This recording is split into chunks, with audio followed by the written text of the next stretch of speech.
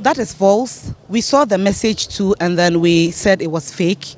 We sent a message out there. This morning, when they came, we told them that message was fake and that they were to go back. We had not asked any 2017 year group to be here to validate their postings.